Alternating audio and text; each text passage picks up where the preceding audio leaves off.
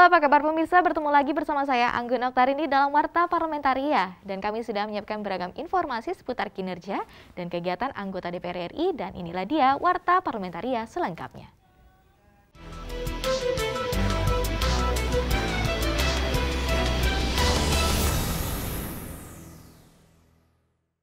Komisi 11 DPR RI meminta pemerintah mengkaji ulang rencana pemungutan pajak pendidikan karena bertentangan dengan amanat Undang-Undang Dasar tahun 1945 serta dinilai akan semakin menambahnya beban masyarakat.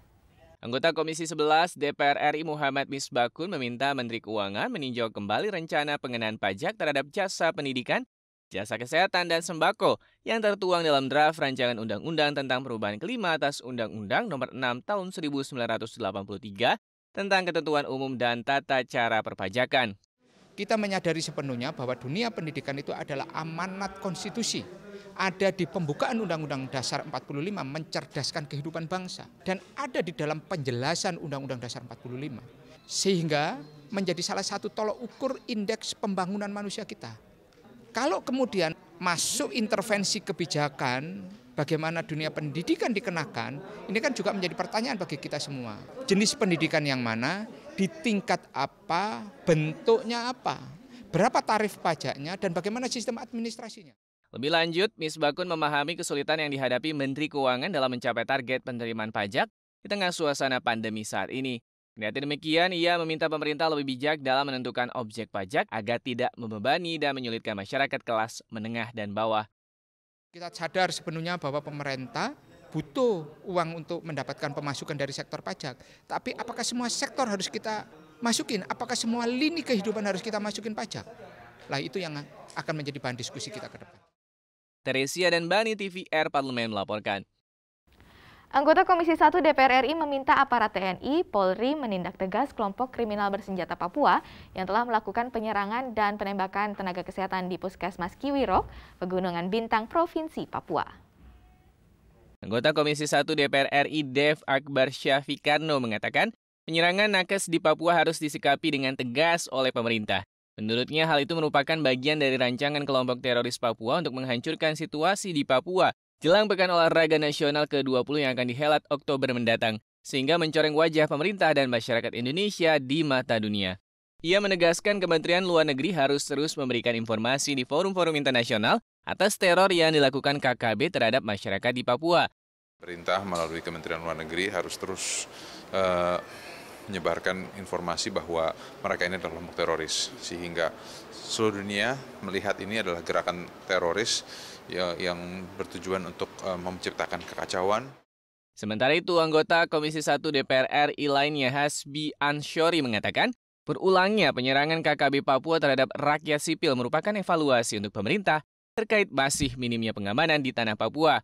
Menurutnya, penembakan terhadap nakes merupakan pelanggaran etika perang. Oleh karena itu, ia meminta pemerintah meningkatkan jaminan keamanan dan kenyamanan masyarakat Papua negara harus hadir dan menjamin bahwa uh, kenyamanan dan keamanan rakyat yang ada di Papua itu dengan cara apa pun negara harus menjamin baik itu dalam bentuk penambahan personil atau memperketat uh, pengamanan.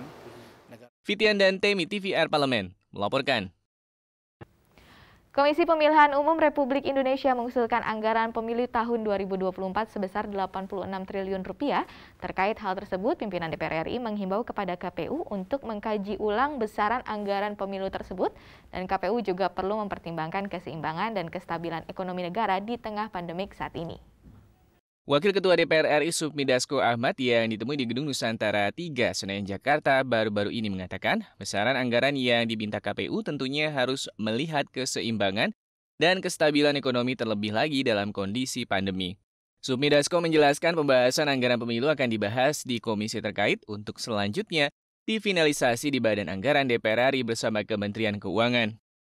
Eh, besaran yang diminta KPU itu tentunya kita harus uh, lihat bagaimana keseimbangan dan kestabilan ekonomi uh, negara kita dalam masa pandemi ini.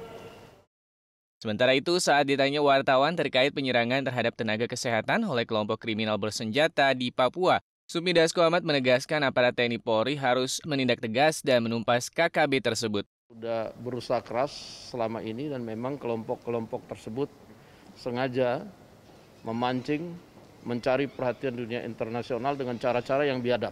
Karena itu kami minta kepada aparat TNI dan Polri untuk bersikap sangat tegas dan harus ditumpas sampai ke akar-akarnya. Zikri dan Yaserto Denus, TVR Parlemen melaporkan. Jangan ke mana-mana pemirsa karena kami masih memiliki banyak informasi lain dalam Warta Parlamentaria. Di antaranya datang dari Komisi 6 mendorong PLN petakan kebutuhan anggaran yang bersumber dari PMN setelah jeda berikut ini.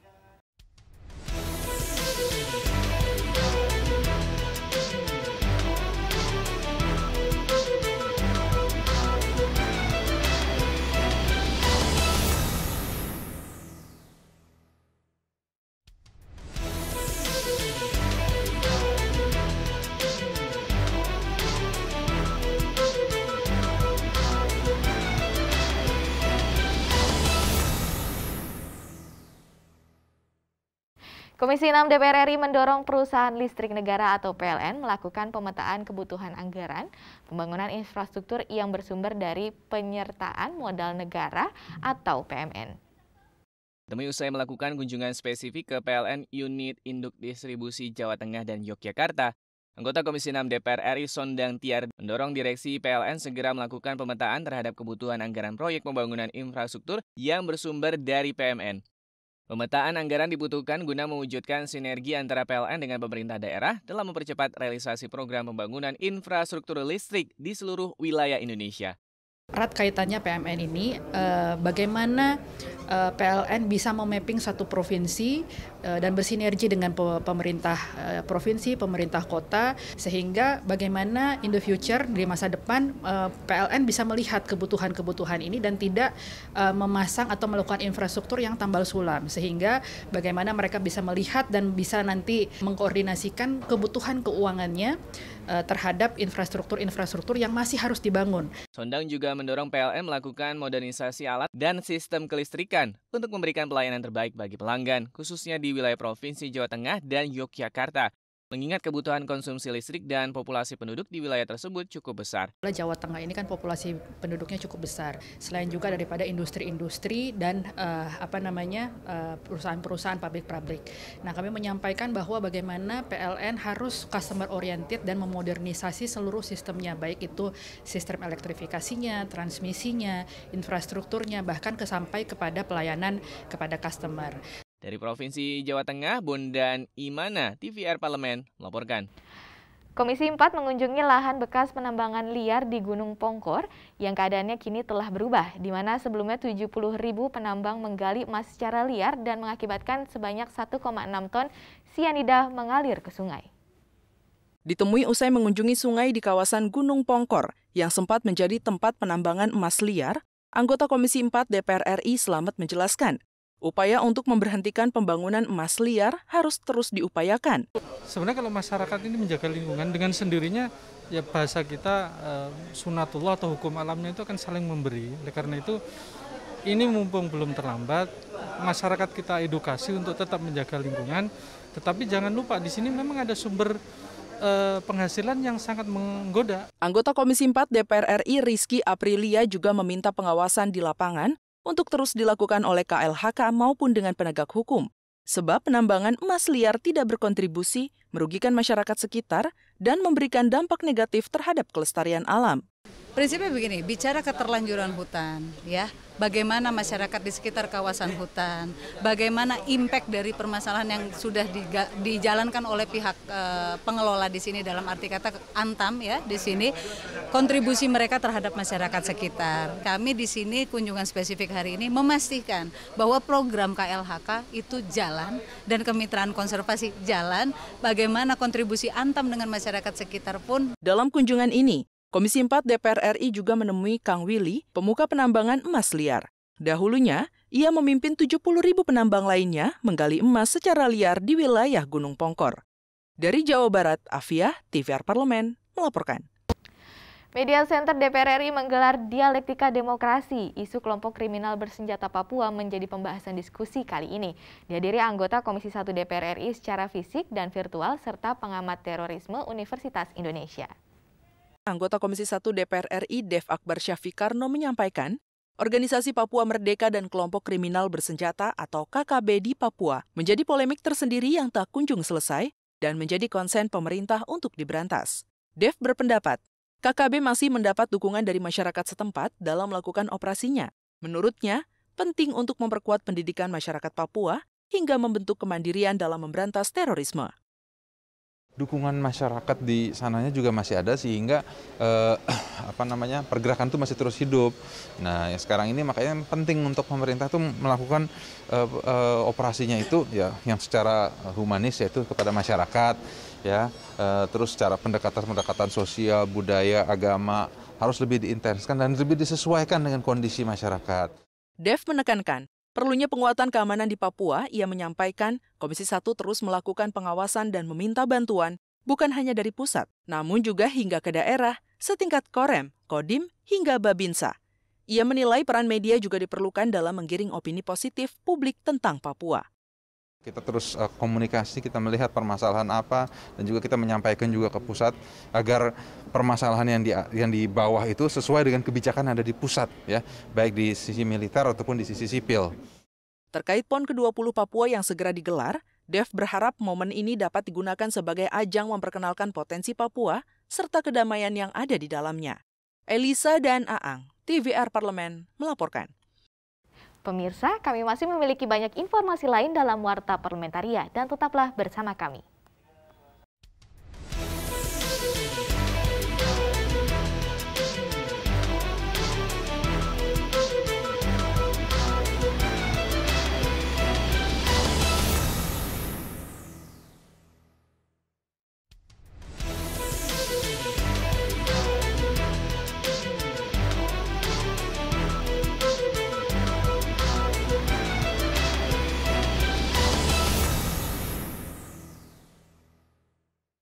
Anggota Komisi 8 DPR RI mengapresiasi langkah Menteri Sosial Tri Risma hari ini yang sering terjun langsung meninjau penyaluran bantuan untuk korban bencana.